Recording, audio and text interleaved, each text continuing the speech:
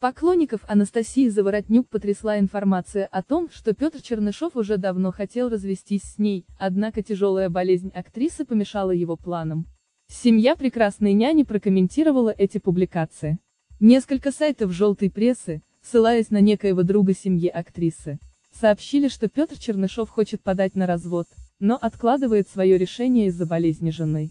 Близкие 48-летней Анастасии Заворотнюк отреагировали на это сообщение.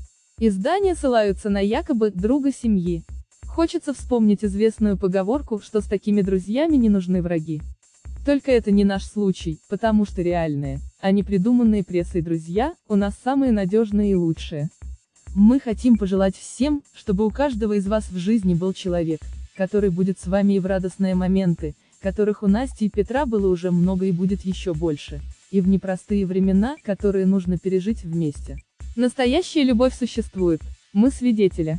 Высказались родные артистки на странице ее поддержки в Инстаграм. Многие поклонники Анастасии отметили, что такие друзья семьи в подобных ситуациях преследуют только одну цель – нажиться на чужом горе. Близкие актрисы также опровергли новость о ее смерти, которую распространил один из медработников клиники, где проходит реабилитацию Заворотнюк. Петр и Анастасия поженились в 2008 году. Фигурист стал третьим мужем звезды. В прошлом году у супругов родилась дочь Мила. От прошлого брака у Заворотнюк есть двое детей, дочь Анна и сын Майкл. Недавно стало известно, что состояние актрисы улучшилось.